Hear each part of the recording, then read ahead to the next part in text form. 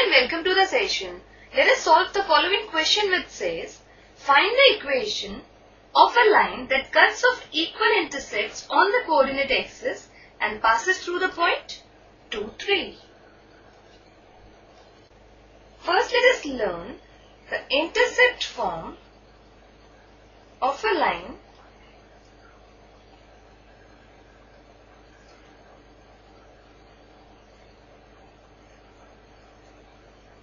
is x, this one is y.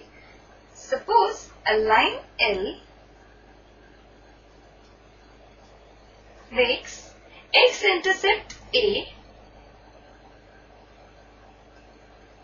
and y-intercept B on the axis. Obviously, L meets x-axis at a point A0 and y-axis at a point 0b.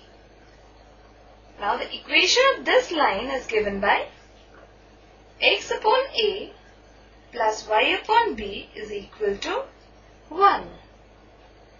So with the help of this idea, we are going to solve the above problem. So this is our key idea.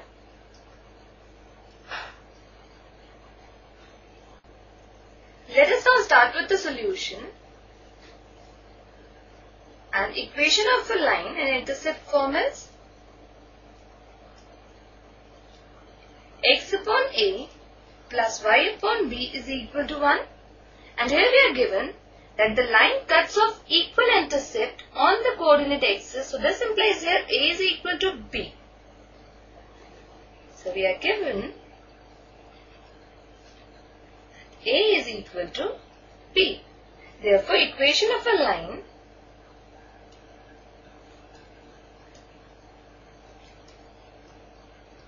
can further be written as x upon a plus y upon a is equal to 1 or x plus y is equal to a. Now we are given that the line passes through the point 2, 3. Therefore, this point must satisfy the equation of a line That is, we are given that line passes through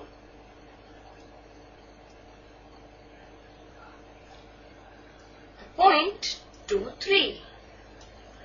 So this implies it must satisfy the equation of the line. So we have 2 plus 3 is equal to A. So this implies A is equal to 5. And therefore equation of the line